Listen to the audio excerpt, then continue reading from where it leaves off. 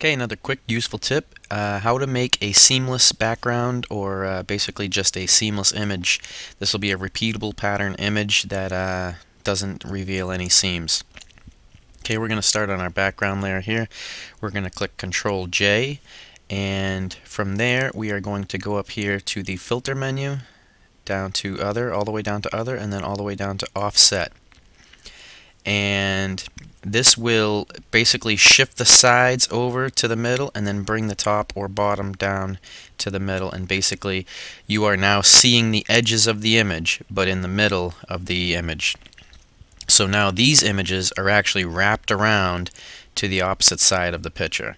Okay, um, and you can slide these sliders around if you wanted to bring it, get it closer to the center. Um, it's it's going to be easier to uh, complete if the uh, seams are basically right there in the center. It doesn't have to be perfect though.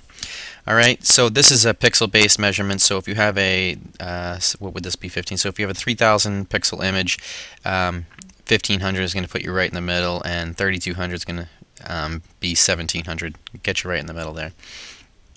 Okay, we're going to click OK on that.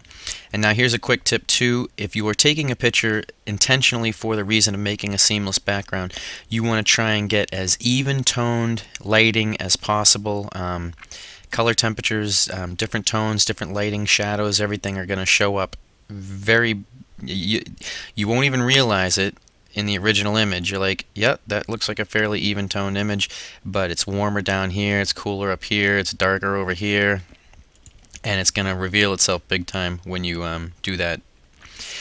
And the only note about that is it's going to be easier to um, it's going to be easier to make seamless if everything is much closer to the same tone. Um, it's not going to be that hard in this particular image because of the this pattern is so rough and random that it's going to be easier to fill in. Our next step on this particular image, the way I would the way I would do this would be to come over here and alt click on the background I mean on the um, add a layer mask and that will uh, totally hide that.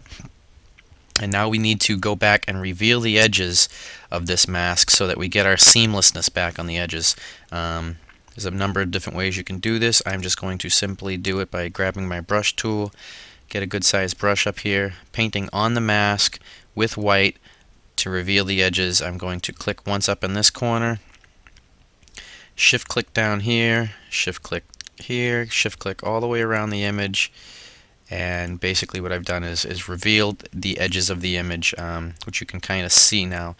Now from that point um, and so now basically I, I have a seamless image because I have gone back and revealed the edges of this I now my seamlessness is there um, this is going to connect down with over here, this is going to connect with over here, and I have the seamlessness. But it doesn't really look that great. I can kind of see the edges up and around this, so what we're going to do now is we're going to zoom in, and we are going to go over to the corner, and now I'm going to be going, I'm going to actually reduce the size of my brush here, and now I'm going to be going back and forth between the black and white brush um, and painting in here.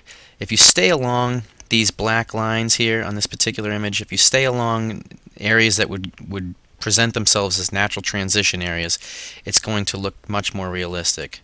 Um, so now I can kind of fill in there. And obviously this is going to um, this is going to be a time-based project where the more time you spend on it, the more time you spend on it, the more realistic it's going to look. Um, come in here and just kind of follow lines and, and make it look less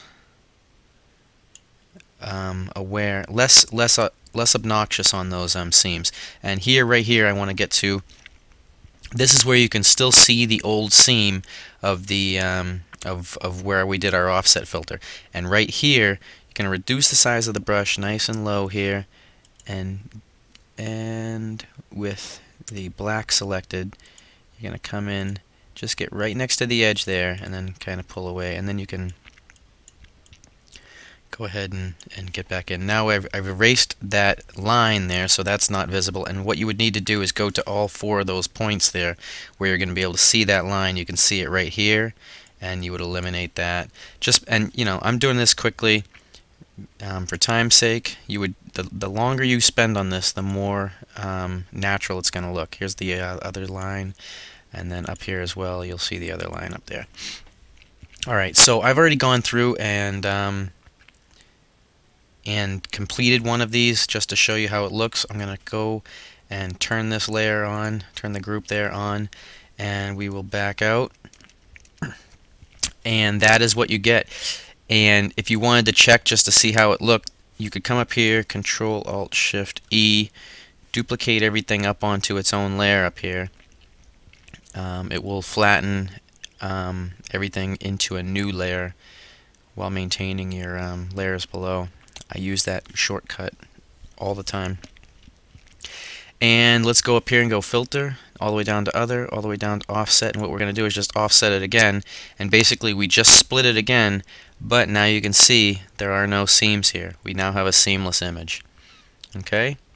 And one last point about this is that um, if you were going to use this as a um, as a website background or anything like that, you're going to want to save this out appropriately. You're actually going to want to reduce the size. I have an immensely large image right here. If you're going to use this as a website background, you want to come in here, um, image size, and bring this down to a much smaller image, and then also do a save for web and reduce the um, or, or, increase the compression so that it it's an easier load on um, slower systems. That's it. I hope you enjoyed it.